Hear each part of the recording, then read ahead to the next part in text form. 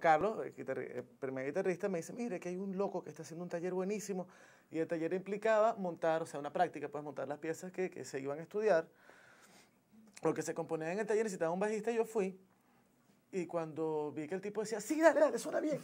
Dale, dale, suena bien. Yo dije, ay, este tipo es un rock and rollero. Y como yo venía a tocar rock and roll con Juan Carlos, me pareció simpático hasta que, que como que el fin de curso de la cosa era en el Teatro Nacional y el, el jefe nos dijo, muchachos, tengo una misión para ustedes, y sin Fue la aceptarla. primera misión de la... Y fue la primera misión de la fosforera. Claro, porque es bueno decir que el taller funciona al revés.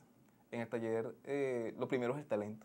O sea, la gente tiene un talento, tiene una idea y eso es lo que importa en el taller. Lo demás es buscar las, las herramientas para que esa idea se pueda desarrollar.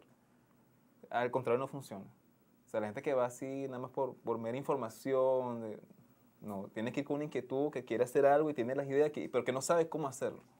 Entonces, ahí es que trabajamos y entramos en acción. Entonces, siempre funcionamos al revés.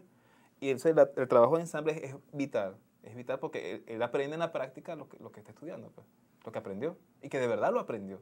No es que tiene información allí, que se fue para su casa. No, no, no. El tipo tiene que tocar lo que, lo que, lo que está estudiando. Si no, no sirve. Gilberto me estuvo llamando durante mucho tiempo y decía, Gilberto, pero tú no tienes suficiente trayectoria para tocar conmigo.